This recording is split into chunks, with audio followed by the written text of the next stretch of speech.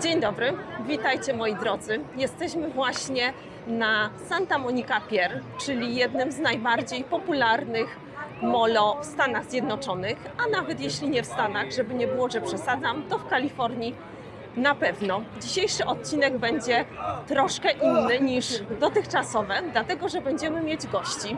Gości, którzy kilka dni temu przylecieli do Stanów z Polski i opowiedzą nam o tym, jak wyglądał ich lot, jak wygląda sytuacja na lotniskach, jakie są ich dotychczasowe wrażenia i plany na kolejny miesiąc. Jeśli jesteście zainteresowani takim tematem, to zapraszam do dalszego oglądania.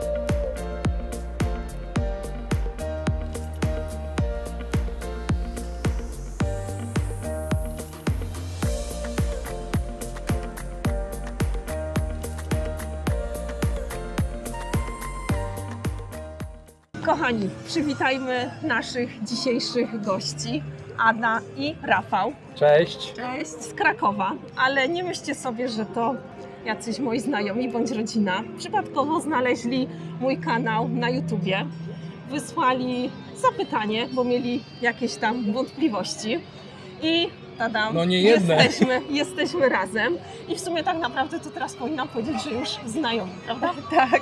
Słuchajcie, oni uwielbiają podróże. Przejechali, zwiedzili Europę wzdłuż i wszerz i teraz przyszedł czas na wyprawę po Stanach. Ale tak naprawdę to nie jest wasza pierwsza podróż, bo już zaliczyliście ten mm, road trip Tak. po innych rejonach USA. Po wschodnim wybrzeżu Mhm. zaczęliśmy od y, Nowego Jorku przez Waszyngton, a wcześniej była Filadelfia. Nowy Mhm. Jork, Filadelfia, Waszyngton, później był Charleston, e, Savannah, San Augustine, Orlando, Nowy Jork, e, Miami i Key West. Key West. Mhm. To było w Także- 2018 roku. 19. Dzie- A, 19, tak. Ale jeszcze pewnie przed pandemią, tak? Tak, tak, to Tak, było przed, tak, przed pandemią. W Mhm. 2018 roku postanowiliśmy, że a, może pojedziemy gdzieś dalej, tak? I stwierdziliśmy, a złożymy wniosek wizowy. Także my jesteśmy, jeździmy jeszcze na wizie. Na wizie tej dziesięcioletniej. Tak, tak, Mhm. dostaliśmy wizę dziesięcioletnią bez żadnych problemów. Tak na dobrą sprawę od złożenia wniosku spotkanie w ambasadzie mieliśmy chyba po trzech dniach. Ciach, ciach, wiza. No wtedy jeszcze Esty nie było. Mhm. Tak, wtedy jeszcze nie było. I ogólnie rzecz biorąc, tak Wam się spodobało, że kolejna podróż To znaczy, tu pod kątem turystycznym ja jestem zakochany w Stanach. To Mhm. kilka stref klimatycznych, zróżnicowanie terenu, rewelacyjni ludzie, wszędzie uśmiechnięci. Wszystko się Ja prosto. muszę się dużo uśmiechać. Wszy- Wszystko, ty i tak się cały czas uśmiechasz. Wszystko się prosto załatwia. Od wypożyczalni, od wypożyczenia samochodu wypożyczalni. Yy, jakakolwiek, jakiekolwiek załatwienie sprawy to jest wszystko I takie ludzie są pomocni. prospołeczne, tak. To jest Mhm, tak, to to, jest, prawda. to prawda. Mhm. Okej, więc może zacznijmy tak trochę chronologicznie. Ile czasu planowaliście tą podróż na to zachodnie wybrzeże? Yy, teraz, tak? Mhm. Miesiąc bez trzech dni. Mhm. To będzie miesiąc bez Szczednica, a podróż będzie, tak. tak. A ile Wam zajęło to planowanie tego, przygotowania wszystkiego, wymyślić, gdzie chcecie jechać i tak Eee, dalej? Miesiąc czasu? Miesiąc gdzieś. Mhm. To Miesiąc. trochę dłużej, znaczy, bo w momencie, kiedy wróciliśmy ze wschodniego wybrzeża, e, wiedzieliśmy już, że pojedziemy na zachodnie. I Mhm. zrobiliśmy taki plan, że za dwa lata, e, żeby oczywiście zebrać trochę funduszy na to, żeby podróż była Mhm. taką komfortowa pod każdym nie patrzeć, względem. y, trochę kosztuje, prawda? Tak, dokładnie, że polecimy za dwa lata, czyli w roku 2020. No niestety to był rok pandemii, COVID-u, w związku z tym... e, Wszystko się odwlekło tak, w czasie. tak, Mhm. odwlekło się w czasie, ale stwierdziliśmy, że nie ma co do, dłużej czekać. COVID został z nami trochę dłużej, w związku z tym wróciliśmy do planu, który mieliśmy zrobiony już wtedy. Trochę go To odświeżyliśmy, znaczy przez, zmodyfikowaliśmy. te, przez, te, przez ten czas, przepraszam, przez te dwa lata, jak czekaliśmy na, na ten moment, aż będzie można Mhm. polecieć, Aż otworzą E, granice. tak. Mhm. trasa troszeczkę została zmodyfikowana. Troszkę zmniejszyliśmy, żeby mm, więcej czasu spędzić w każdym miejscu, Mhm. żeby to bardziej optymalnie było zrobione. I tak Mhm. uważam, że e, no, nawet tutaj w Los Angeles udało nam się więcej zobaczyć niż planowaliśmy, Mhm. lepiej w ten sposób. Jak jest więcej czasu, to coś jeszcze niż Tak, drogą, żeby się Mhm. spieszyć. Ale tak, to miesiąc takiego planowania, no i ta Tak. kosmetyka przez te dwa lata. I ogólnie rzecz biorąc, y, przez te dwa lata mie- mieliście możliwość, żeby wszystko dopiąć Tak. ostatni Tak. guzik. Tak. Także, Natomiast tak, jak y, samo rezerwowanie samochodu, y, Mhm. hoteli w Booking.comie, apartamentów w Airbnb, y, wypożyczenie samochodu, to wszystko zajęło nam dwie godziny. Mhm. To Jak- bardzo szybko. Jak dostaliśmy informacje, bo wcześniej się pojawiły w telewizji chyba, w wiadomościach w Polsce, w faktach TVN, informacje e, o tym, że W administracja otwiera. Białego Domu Mhm. w tym i w tym dniu oficjalnie ogłosi otwarcie, Mhm. y, znaczy otwarcie było, otwarte było cały czas, tylko trzeba było Mhm. dwa tygodnie mieć Tak. na kwarantannę, że będzie można z Schengen Mhm. normalnie wlecieć, to ja czekałem, wiem, północ, pierwsza w nocy, jak ta informacja się pojawiła, od razu najpierw Mhm. Lufthansa, rezerwacje na samolotu, później już miałem przygotowane, które hotele chciałbym, no i też tak od razu samochód. W ciągu Mhm. dwóch, może dwóch i pół godziny mieliśmy wszystko zare- zarezerwowane, samochód opłacony, bilety na samolot kupione. Mhm. I takie październik, listopad 2021, nie? Tak, Mhm. tak, tak.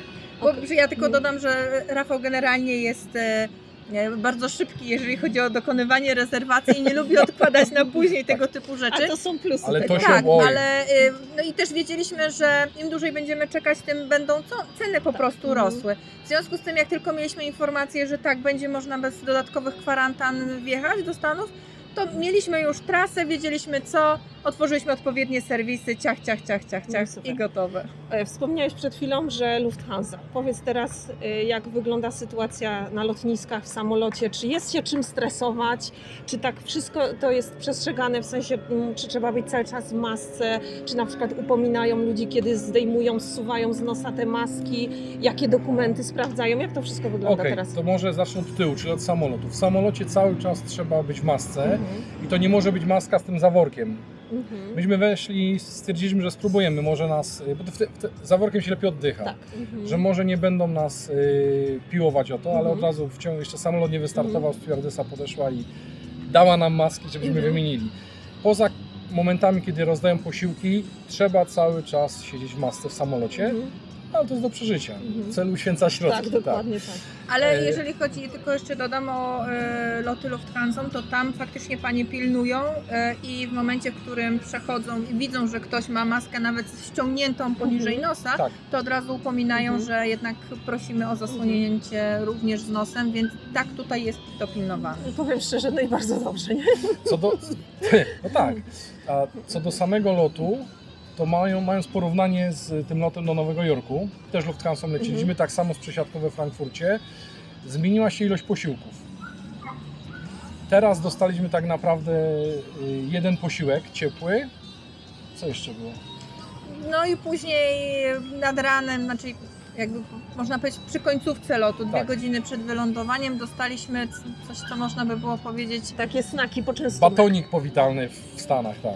to to była taka tortilla No, warzywna. niedobra. Ja powiem tak, dziękuję, że o tym wspomniałeś, bo ja jak leciałam w tamtym roku właśnie, czy z Miją, czy z mężem, to y, na moim filmiku powiedziałam o tym, że mam wrażenie, że te linie od czasu COVID-u oszczędzają na jedzeniu Oj tak, i y, ilość i jakość spadła. dostałam mnóstwo komentarzy, że ja piszę bzdury, że Nie. to jest nieprawda, jednak to się potwierdza. Też Tak, macie takie jest, wrażenie. tak. Mhm. jest gorsze, to znaczy y, całe jedzenie było wegańskie, tak? Wegańskie, Mhm, wegeta- wegetariańskie. wegetariańskie, ale Y, W nie sensie pewnie y, makaron z sosem, tak, tak? tortilla z jakimiś warzywami, ale są wegetariańskie dania, które są smaczne. To nie Mhm. tylko, nie było nie, nie smaczne, bo wegetariańskie, ale to było Mhm. i wegetariańskie Mhm.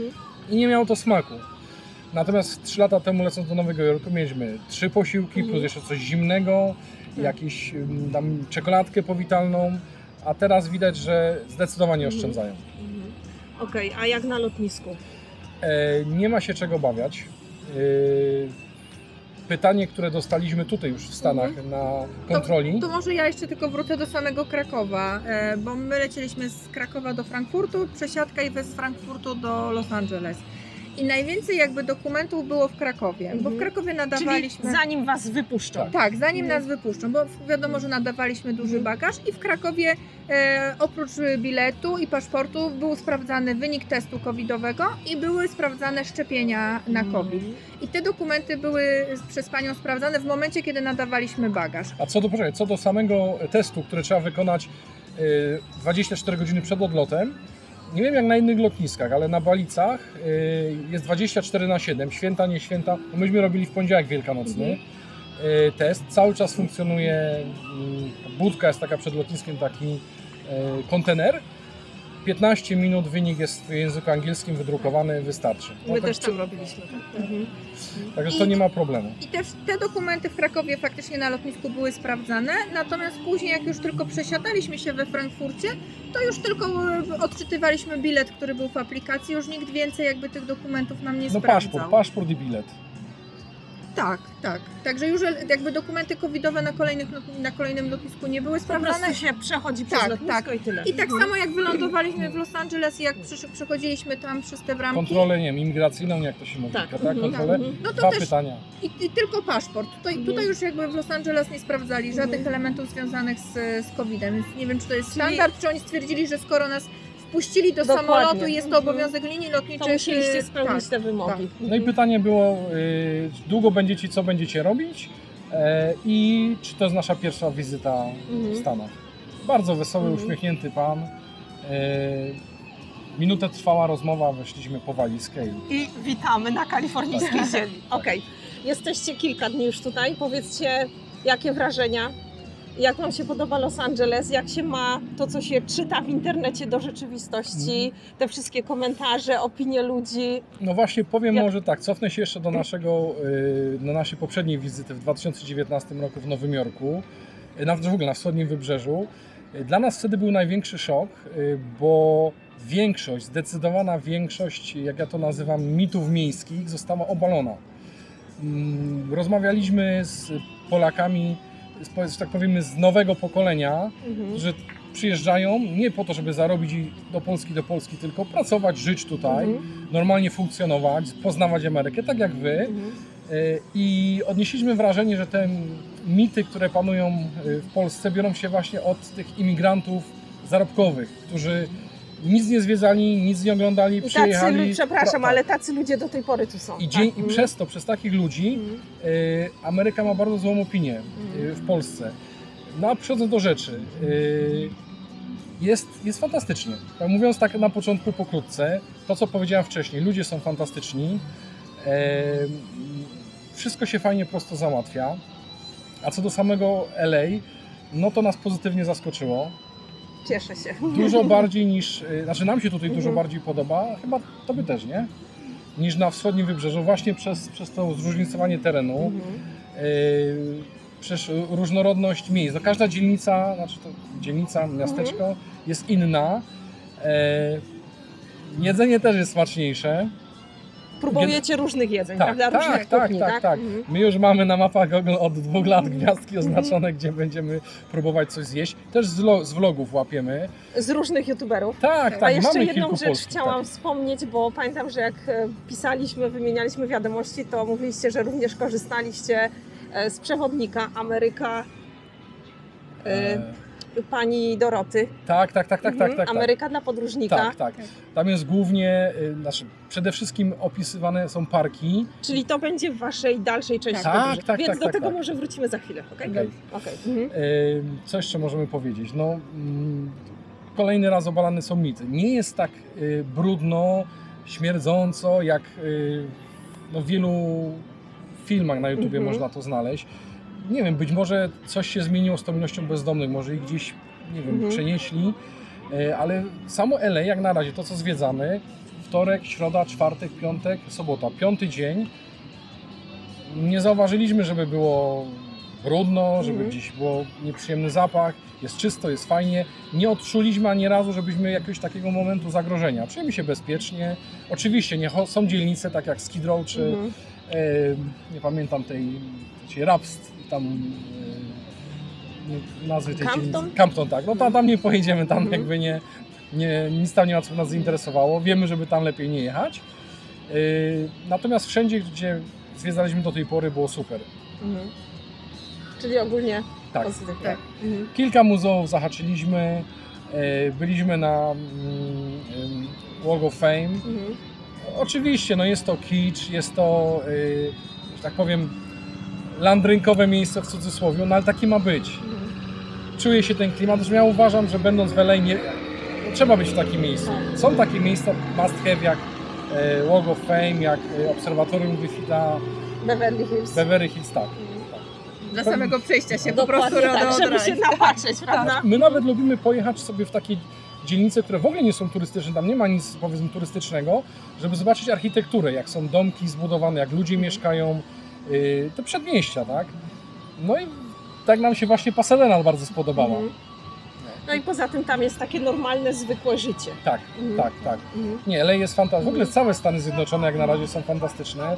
Odpukać w niemalowane, Mhm. Żeby nie zapeszać, ale y, no, myślę, że skoro zjechaliśmy cały wschód i teraz zaczynamy poznawać zachód do tej pory nie mamy negatywnych odczuć, to chyba raczej się już nie powinno zmienić. No tak liczę. No na pewno nie jest to nasza ostatnia wizyta, na pewno. Znaczy ja pamiętam też e, z naszej pierwszej wyprawy, wiadomo jak planowaliśmy wyjazd do Ameryki. Tak, O, do do tej Ameryki, tak, do tak. tej Ameryki, za tą wielką wodą. Ojejku, co to będzie? Gdzie wy jedziecie? Co wy tam będziecie robić?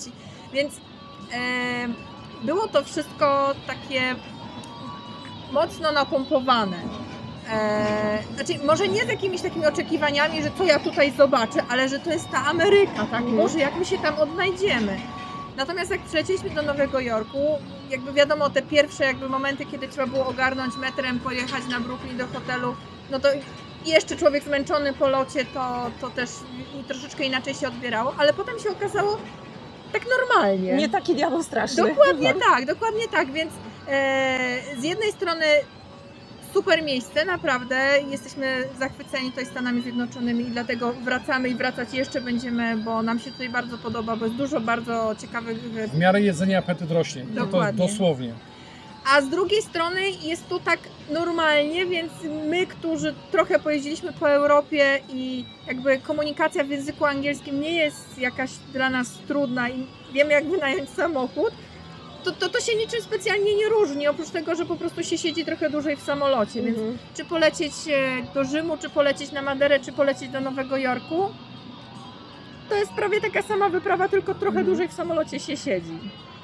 Więc z jednej strony ta Ameryka, wielka Ameryka, ale z drugiej strony taka normalna. Mhm.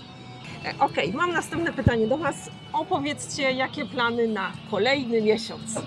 To Bo będzie aktywnie i ambitnie, Tak. prawda? Tak, tak, Mhm. tak. E, więc w poniedziałek rano wyjeżdżamy z Los Angeles i kierujemy się w, do San Diego. W San Diego będziemy dwie noce, czyli jeden cały pełny dzień, żeby choć trochę tego San Diego zobaczyć. Wiemy, że jest to mało czasu, ale, ale trzeba było wyważyć, co gdzie, i- ile zostawić, więc do San Diego. I następnie z Do San zo Diego. koniecznie. A wiesz, tam jest cudowny Legoland w San Diego. Za dużo, tak.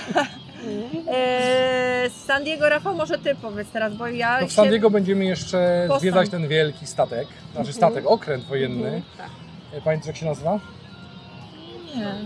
USS Midway? Nie. Tak. Tak? Mhm. Midway tam jest? E, No i z San Diego będziemy mm, kierować się w kierunku, na, znaczy będziemy jechać na Las Vegas, Mhm. ale nie dojdziemy do Las Vegas, tylko e, podjedziemy pod zaporę Hoovera. Mhm.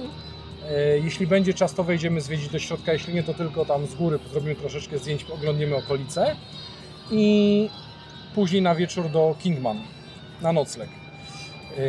Na drugi z Kingman jedziemy mm, na, do Grand Canyon Village, to jest e, za tak, wschodnia część, wschodnia część e, Wielkiego Kanionu. Tam chcemy spędzić też cały dzień, pochodzić po szlakach e, i na wieczór pojechać do Page. Mhm. W Page mamy dwa noclegi. E, W Pejś mamy dwa noclegi ze względu na to, że mamy zaplanowane e, dwie rzeczy takie główne. Z Kanion Antylopy. Mamy już kupione bilety.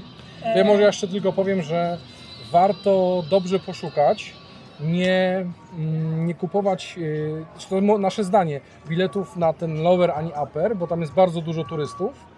E, Natomiast je- jest jeszcze trzeci, to się, on się nazywa Canyon X, e, gdzie jest mniej popularny, ale jest równie ładny e, i o połowę mniej kosztuje. Im jest zdecydowanie mniej turystów. To jest raz, a dwa, bardzo ważne jest, gdybyście kiedyś kupowali bilety, żeby spróbować tak wycyrkulować czas, aby być w środku jak najbliżej południa, bo właśnie wtedy, kiedy słońce jest pionowo na niebie, widać te ładne kolory na tych skałach. Snopy światła. Snopy światła, tak.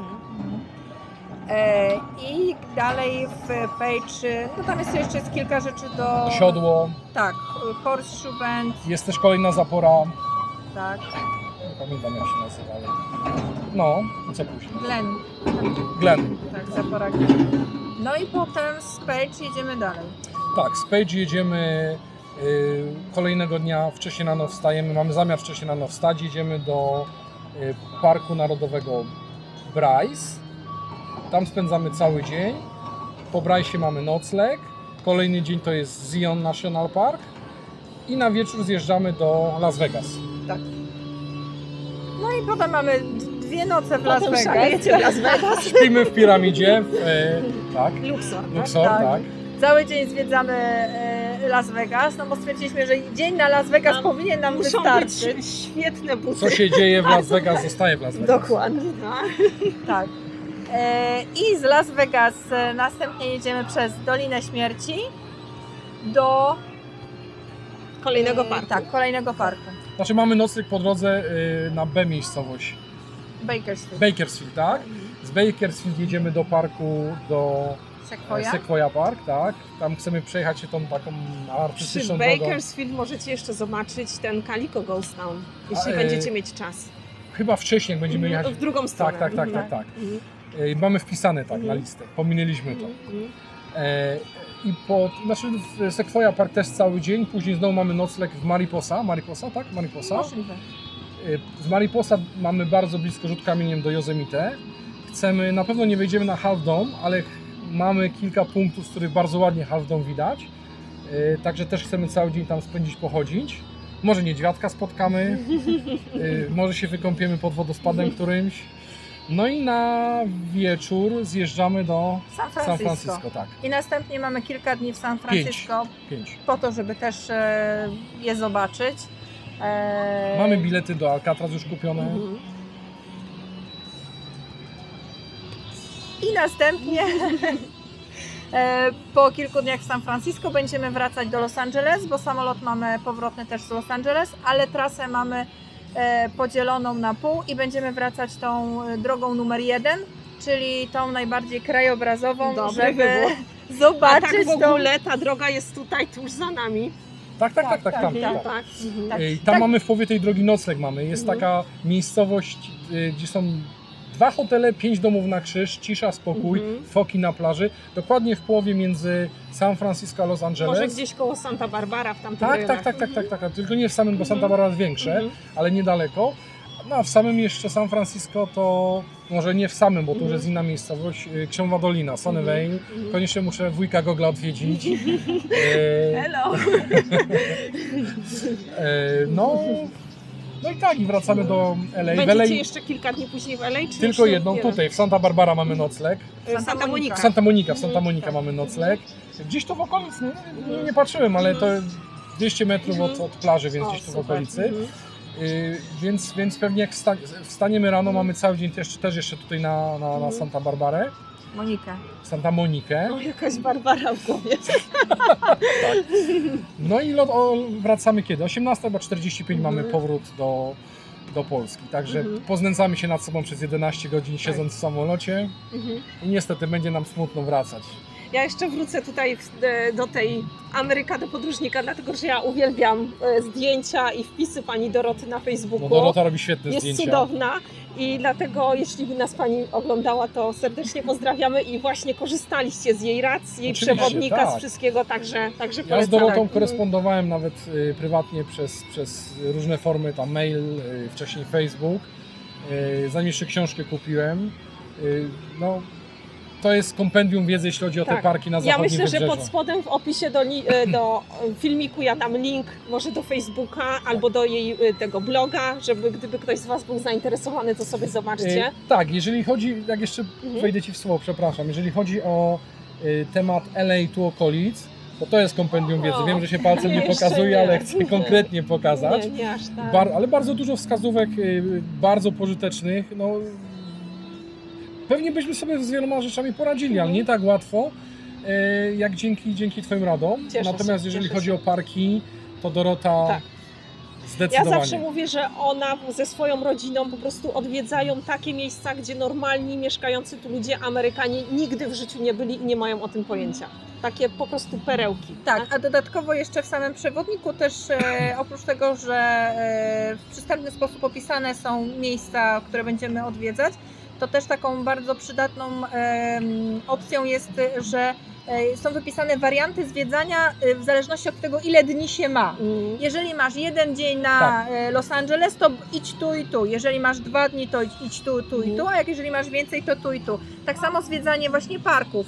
E, czy Bryce, czy Zion, czy, czy Wielki Kanion. Jak masz jeden dzień, to idź tu, bo to jest najważniejsze, ale możesz jeszcze zobaczyć tam to Mhm. tutaj coś, co jest z boku, tam jest mniej ludzi, a jest równie piękne. Więc to jest też Mhm. bardzo przydatny element w, tych, e, w tym przewodniku, że jest zróżnicowane w zależności od tego, ile czasu można poświęcić na poszczególne Znaczy ja bym w ogóle tej książki na, nie nazwał przewodnikiem, bo dla mnie przewodnik to jest coś takiego, że idę do Empiku, kupuję przewodnik na dane miejsce i w prosty, schematyczny Od- sposób opisane to i to i to. Mhm. Dorota napisała, ja jej to napisałem, jak y, zapoznałem się z książką, że dla mnie to nie jest przewodnik, ale książka podróżnicza. Mhm. Tam jest tak świetnie wszystko opisane.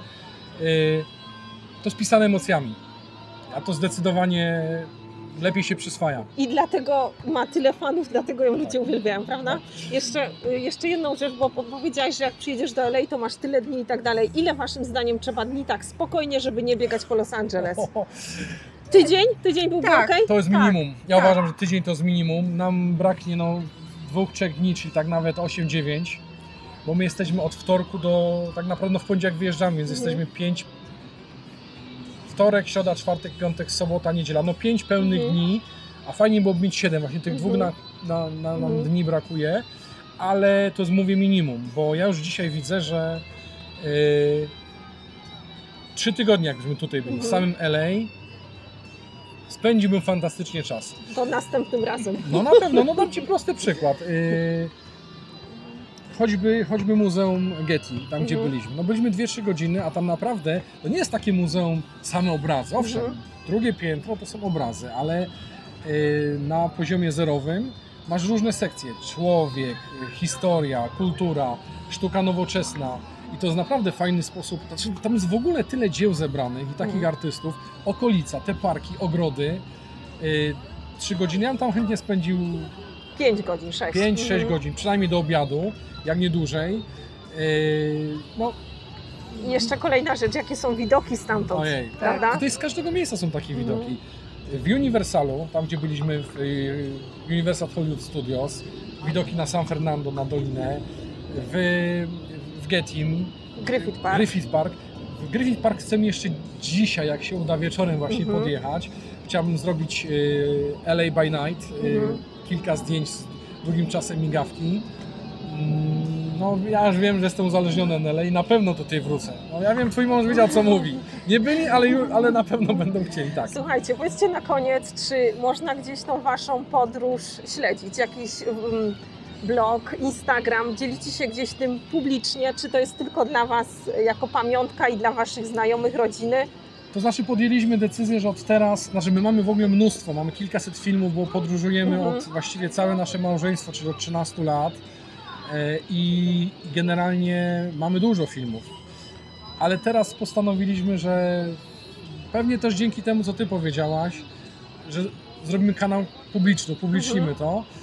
Natomiast no linka Ci wyślę, jeśli będziesz Mhm. chciała, to tak, oczywiście, że tak, jak najbardziej. Bo podejrzewam, że nasi widzowie się z tym zgodzą, że mają lekkość i swobodę wypowiadania się przed kamerą, także trzeba ich zmotywować, bo bardzo dużo osób jest zainteresowanych Ameryką, Kalifornią, także myślę, że widzowie będą na pewno.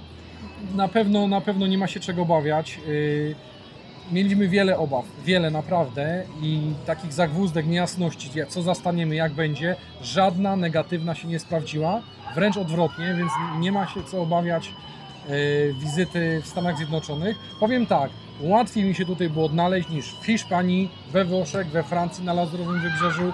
Zwiedziliśmy całe południowe wybrzeże Europy, od, y, od Genui przez Saint-Tropez, Nicea, Marsylię, Cannes, Hiszpanię do samego dołu, aż do Portugalii samochodem nad ocean. Nigdzie, znaczy było zawsze super, ale uważam, że znaleźć się w Stanach jest łatwiej niż w Europie. Mhm. A odległość to jest tylko stan umysłu. To zapomnijcie o tym, że to jest 11 tysięcy kilometrów, czy tam 8-10 i warto tu przyjechać. Zdecydowanie. Każdy coś znajdzie dla siebie. Ja Wam bardzo dziękuję za możliwość nagrania, podzielenia się tymi wszystkimi informacjami. Myślę, że mamy dużo bardzo fajnych, ciekawych tutaj informacji w tym filmiku i ktoś na pewno skorzysta. Gdybyście mieli jakieś pytania do mnie czy do Ady i Rafała, to piszcie pod spodem w komentarzach. Ja postaram się w miarę na bieżąco odpowiadać. Jeśli będzie więcej tych pytań, to pewnie zrobimy jakiś filmik Q&A. Nie mogę Wam obiecać, że oni będą odpisywać na Wasze pytania, bo mają Myślę, że tak. nie, mają wiele, wiele fajniejszych rzeczy tutaj do robienia. Na razie Na razie w nie, no podróży. tutaj nie. Dokładnie.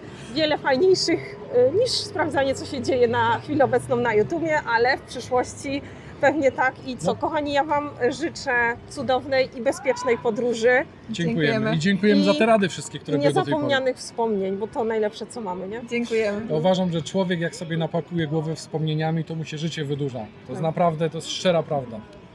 Także, także dziękujemy i Dziękujemy. Do zobaczenia. Pa, pa. Do zobaczenia na trasie.